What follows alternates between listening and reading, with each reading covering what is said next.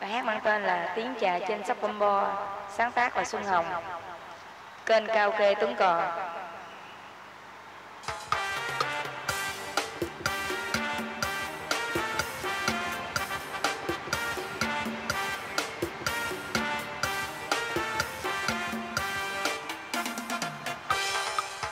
đuốc lò ô bập bùng trên ánh lửa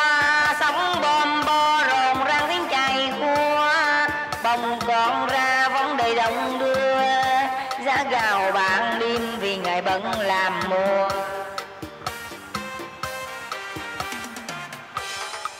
Cách mà cân gạo nhiều để đánh mi.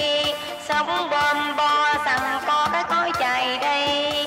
Người bom bo sẵn có đôi bàn tay. Với tình yêu nước và thù giặc ngày ngày. Tiếng cười vui đầy lối và đêm vắng ve. Có ai đi về phía những hàng cây? Mời vô đây cùng nghe khúc nhạc hay. Khúc nhạc đêm nay dùng điệp nhạc bằng chai. Đuốc gần tan nhịp càng thêm răng rối bóng trăng lên vừa khói đến đồi cây. Người chưa ngơi đã sẵn có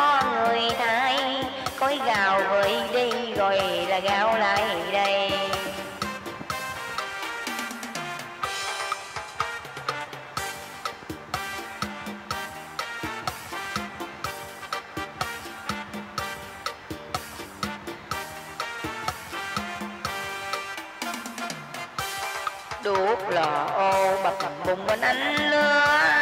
Sóc bom bo rồn ra tiếng chạy khuya. Bông còn ra để đồng nữa xa gào bạn đêm vì ngày bận làm mùa.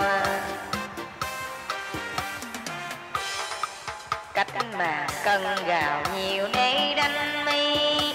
Sóng bom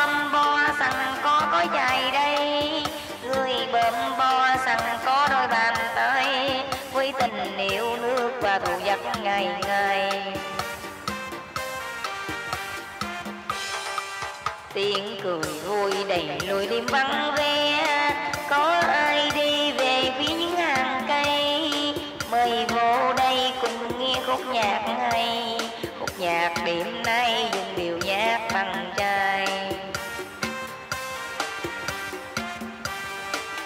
Đốt gần tan nhịp càng thêm rắn rối.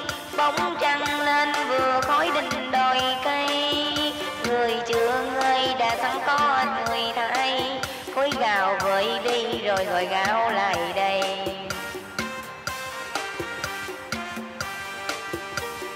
Trưa người đã sẵn có người thay Khối gạo với đi và gọi đà gạo lại đây.